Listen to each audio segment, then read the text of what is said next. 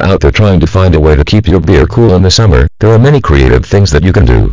One of the best things that is out there is that you need to check out the bottle koozies so that you can get just what you need and keep your beer nice and cool. There are many other ways that you can keep it cold, but these are a great idea.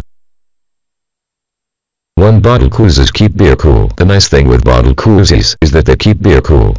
When you have something that goes over the outside and looks great, it will also serve as an insulator. You will find that you have many choices out there for these koozies. They come in great colors and designs so that you can have a great item that will keep your beer cool and will also stand out and look great. 2 ice is a great idea. If you are going to try your best to keep your beer cool, you probably need to also have some ice around. On a warm summer day, the temperatures can be high, so even with bottled koozies, they are still going to get warm. Having a cooler that is full of ice will help you keep your beer cold and make it even more enjoyable when you want to sit down and have a few cold ones.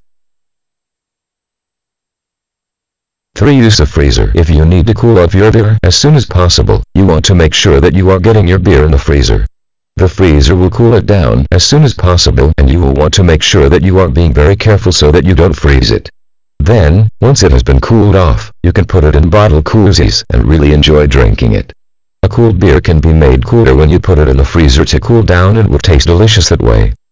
4. Pour your beer in a chilled mug if you like that great, icy beer, you need to make sure that you are pouring your beer in a chilled mug. These mugs generally start in the freezer and you pull them out when you want to drink in them. They will create some ice along the edge that will make your beer frosty and delicious. This is a great way to keep your beer cool. 5. Get a cool beer. On tap avoid a bottled beer if you want a beer that is ice cold. Get a beer that is on tap that you can drink down.